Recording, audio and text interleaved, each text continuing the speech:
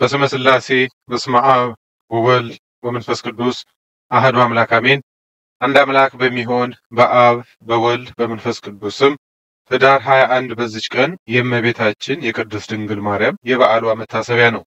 በጸሎቷ የሚገኝ በረከቷም ከሁላችን የክርስቲያን ወገኖች ጋር ይኑር ለዘላለሙ አሜን። አርኬ ሰላም ለኪ ማርያም እምነ ዘሰማይናኪ ጸወነ ሶበ እምሕሩቅ ርእየ ዘጽላሎትኪ ስነ ለቢሶ ዳዊት ልብሰ ክብር ዘየሃይድ አይነ ቅድመ ታቦተ ሕገ ሐለየ ወአዲ ዘፈነ። በዚችም ዕለት ከሮሜ አገር የሆነ ተአምራትን የሚያደርግ ቅዱስ ጎርጎርዮስ አረፈ። ይህም ቅዱስ ከታናሽነቱ ጀምሮ የቤተ ክርስቲያንን ትምህርት የቀናች ሃይማኖትንም ተምሮ እውነተኛ ክርስቲያን ሆነ። ከዚህም በኋላ የዚህን ዓለም ኃላፊነት የማታልፍ የመንግሥተ ሰማያትን ኑሮ አሰበ። ሐሳቡንም ሁሉ ስለ ነፍሱ ድህነት አደረገ። የዚያችም አገር ኤጲስቆጶስ በኤጲስቆጶስነቱ ሥራ ይራዳው ዘንድ ለመነው። እርሱ ግን አልፈቀደም። ከውዳሴ ከንቱ የሚሸሽ ሆኗልና ወደ ገዳምም ገብቶ ጽኑ የሆነ ተጋድሎንም መጋደል ጀመረ። የዚያችም አገር ኤጲስቆጶስ ባረፈ ጊዜ ኤጲስቆጶስ የሚያደርጉት ፈልገው አጡ። ስለዚህም ተሰብስበው ሳሉ የመለኮትንም ነገር የሚናገር ጎርጎርዮስ ከእሳቸው ጋር ሳለ ገዳማዊ ጎርጎርዮስን ፈልጋችሁ በእናንተ ላይ ሹሙት የሚል ቃል ከሰማይ ወደ እነርሱ መጣ። በበረሃውም ውስጥ በፈለጉት ጊዜ አላገኙትም። እየፈለጉትም ብዙ ቀን ኖሩ። እርሱ ግን በአቅራቢያቸው ይኖር ነበር። ባላገኙትም ጊዜ በአንድ ምክር ተስማምተው በሌለበት ወንጌል ይዘው በላያቸው ኤጲስቆጶስነት ሾሙት። ስሙንም የመለኮት ነገር በሚናገር በጎርጎርዮስ ስም ጎርጎርዮስ ብለው ሰየሙት። ከዚህም በኋላ የእግዚአብሔር መልአክ ለቅዱስ ጎርጎርዮስ ተገልጦ ተነስተህ ወደ እነርሱ ሂድ፣ እነሆ በላያቸው ኤጲስቆጶስነት ሾሞሃልና ይህም ከእግዚአብሔር የሆነ ነው አለው። ያን ጊዜም ወደ እነርሱ ወረደ። የአምላክንም ትእዛዝ መተላለፍ ፈርቷልና ባዩትም ጊዜ ወጥተው በታላቅ ክብር ተቀበሉት። የሹመቱንም ሥርዓት ፈጸሙ። እግዚአብሔርም ቁጥር የሌላቸው ብዙዎች ታምራትን በእጆቹ ገለጠ። ስለዚህም ገባሬ መንክራት ጎርጎርዮስ ተብሎ ተጠራ። ከብዙዎች ታምራቱም አንዲቱ ሁለት ወንድማማቾች ነበሩ። ከእርሷም ብዙ ዓሣዎችን የሚያጠምዱባት ታናሽ ባህር ነበረቻቸው። አንዱም አንዱ የኔ ናት በማለት እርስ በርሳቸው ተጣሉ። ስለዚችም ባህር በመካከላቸው ይፈርድ ዘንድ ወደ ቅዱስ ጎርጎርዮስ ለመሄድ ተስማሙ። እርሱም ከሁለት ተካፈሉ ብሎ አዘዛቸው። እንዳዘዛቸው ባልተስማሙም ጊዜ ስለዚያች ባህር እግዚአብሔርን ለመነው። በዚያንም ጊዜ ባህሪቱ ደርቃ የምትታረስ ምድር ሆነች። በመካከላቸውም ሰላም ሆነ። በእጆቹ ስለሚደረጉ ድንቆች ተአምራት ዜናው በሁሉ አገር ተሰማ። በጎ አገልግሎቱንም ከፈጸመ በኋላ በሰላም አረፈ። ለእግዚአብሔር ምስጋና ይሁን። እኛንም በዚህ አባት ጸሎት ይማረን፣ በረከቱም ከእኛ ጋር ትኑር ለዘላለሙ አሜን።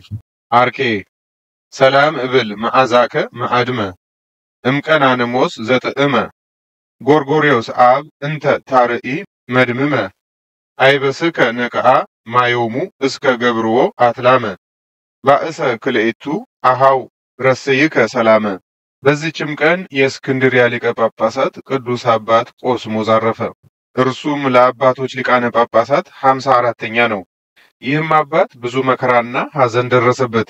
በዘመኑም በክርስቲያን ወገኖች ሁሉ ላይ መከራና ችግር ደረሰባቸው።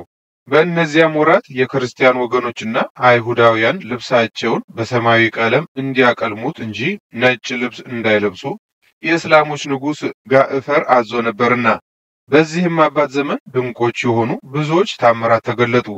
በአስቄጥስ ገዳም በቅዱስ ሳዊሮስ ቤተ ክርስቲያን ውስጥ የእመቤታችን የቅድስት ድንግል ማርያም ስዕል ነበረች። ጎኗም ተገልጦ በእርሷ ብዙ ደም ፈሰሰ። በግብፅ አገር ካሉ ከሌሎች ስዕሎችም ከዓይኖቻቸው ብዙ እንባ ፈሰሰ።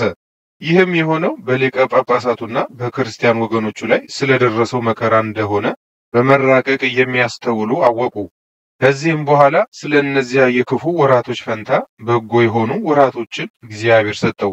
ሁልጊዜም ምዕመናንን የሚያስተምራቸውና የሚያጸናቸው በቀናች ሃይማኖትም የሚያበረታታቸው ሆነ። በወንጌላዊ ማርቆስ ወንበር ላይ ሰባት ዓመት ከአምስት ወር ከኖረ በኋላ በአምስት መቶ ዓመት ከሰማዕትነት ኅዳር ሀያ አንድ ቀን አረፈ። ይንሶር በሚባል ዋሻም ተቀበረ። ለእግዚአብሔር ምስጋና ይሁን። እኛንም በዚህ አባት ጸሎት ይማረን፣ በረከቱም ከእኛ ጋር ትኑር ለዘላለሙ አሜን።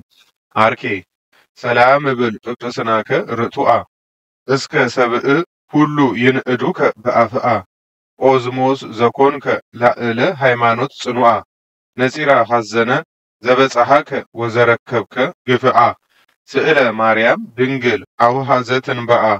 በዚችም ዕለት የእስሙናይ ሀገር ሰማዕታት እልፌዎስ፣ ዘኪዮስ፣ ሮማኖስ፣ ዮሐንስ፣ ቶማስ፣ ፊቅጦር፣ ይስሐቅ መታሰቢያቸው ነው። በረከታቸውም ከእኛ ጋር ትኑር ለዘላለሙ አሜን። አርኬ ሰላም ለክሙ ከዋክብት ብሩሃን ዘሀገር እስሙናይ እልፍዮስ ዘኬዎስ ወሮማኖስ ምእመን ዮሐንስ ቶማስ ወፊቅጦር ወይስሐቅ ካህን ቤዛ ኃጥአን ሁነነ ጻድቃን። በዚችም ቀን ደግሞ የብርሌ ብርጭቆ ሰሪዎች ልጅ የሆነ ከአስዩጥ አገር ቅዱስ አባት አባ ዮሐንስ አረፈ። ይህንንም ቅዱስ በወለዱበት ጊዜ በበጎ ተግሣጽ አሳድገውታል። የጥርብ ሥራንም አስተማሩት። ከጥቂት ዘመንም በኋላ አባቱና እናቱ አረፉ። ያን ጊዜ ወደ ቅዱስ አባ ኢስድሮስና ወደ አባ ባይሞን ዘንድ ሄዶ መነኮሰ።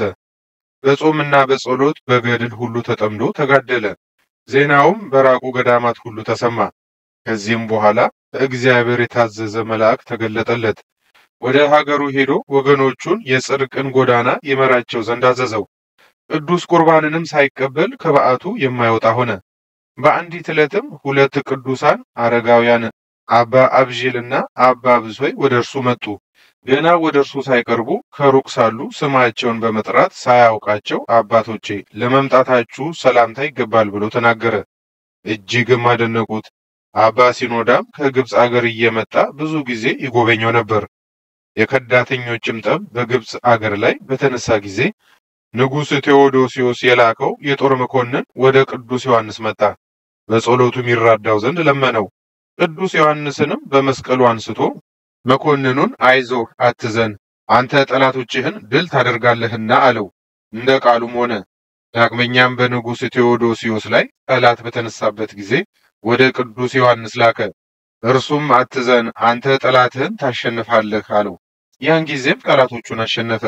ከዚህም በኋላ በእነዚያ ወራት ንጉሥ ቴዎዶሲዮስ የርኩስን ሥራ ስለሰሩ የአስጥዩን ሰዎች እንዲገድሏቸው ሀገራቸውንም እንዲያጠፏቸው አዘዘ።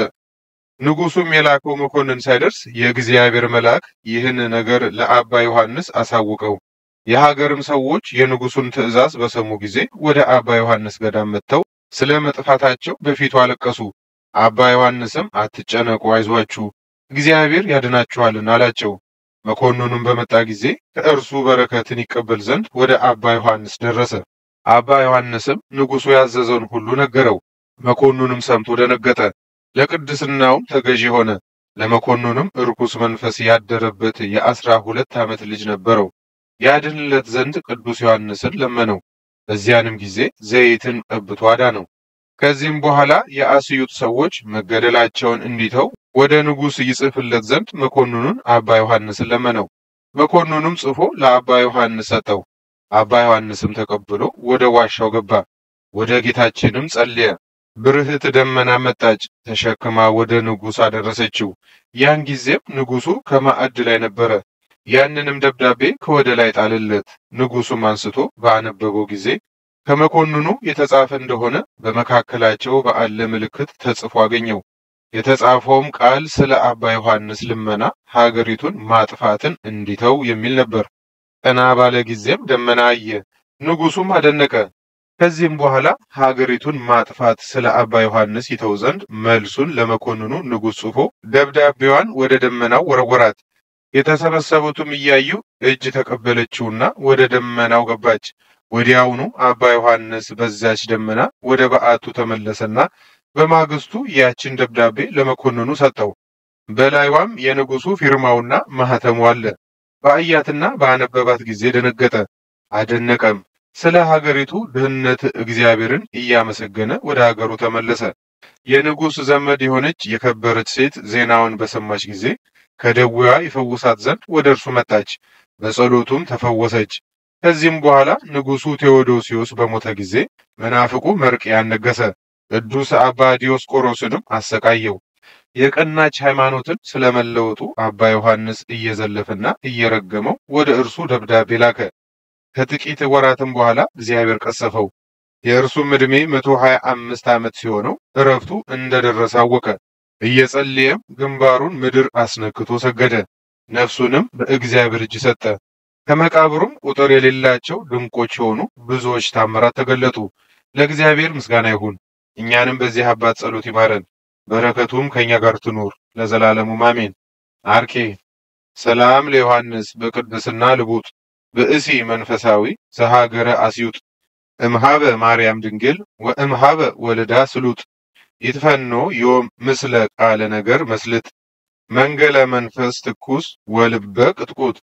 በዚችም ዕለት ጫብሬ ከምትባል ከሀገረ ድልበት ቅድስት ዲቦራ አረፈች። ዜናዋም በገድሏ መጽሐፍ ተጽፎ ይገኛል።